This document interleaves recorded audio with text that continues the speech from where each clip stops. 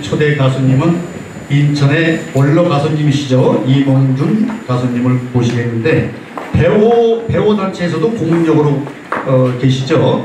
근데 오늘은 고향역 나오나 노래를 하시는 거 보니까 생맥주를 안 주시나 보다. 자, 고향역 첫 번째 곡으로 어, 들어보겠습니다.